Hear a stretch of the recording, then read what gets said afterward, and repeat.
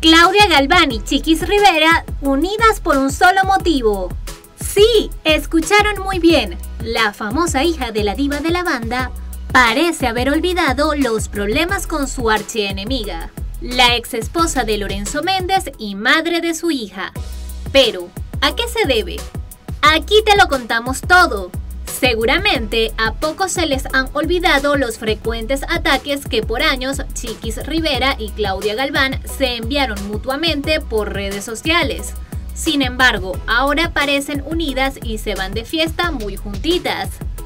Madurez nivel Dios.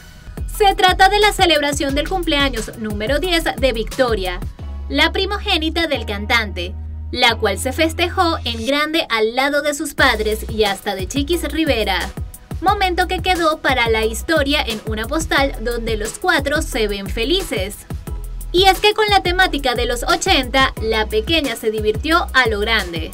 Mientras que sus padres y chiquis demostraron que ya dejaron en el pasado los problemas que tuvieron, tanto que la hija de Jenny Rivera se unió por completo a la fiesta vistiéndose de acuerdo a la ocasión.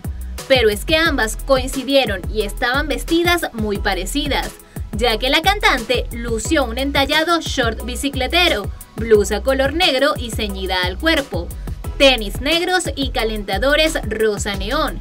Al outfit le agregó accesorios super ochenteros, muñequeras como una cangurera rosa y amarillo neón, un moño enorme en la cabeza del mismo color y un collar de perlas rosas, mientras que Claudia Galván lució un outfit similar, pero de leggings negros y tenis blancos, así como su rubia cabellera guafleada. Sin duda alguna, esta aparición causó revuelo en las redes sociales, ya que hay que recordar que ambas mujeres tuvieron algunas rencillas y se tiraban indirecta a través de las plataformas digitales, sobre todo cuando Chiquis Rivera terminó en alguna ocasión con su ahora esposo, a lo que Claudia aseguraba públicamente que lo recibía en su casa y que fueron varias veces las que su ex la buscó. Situación que más tarde los llevó a presentarse en tribunales luego de que ambas se demandaran.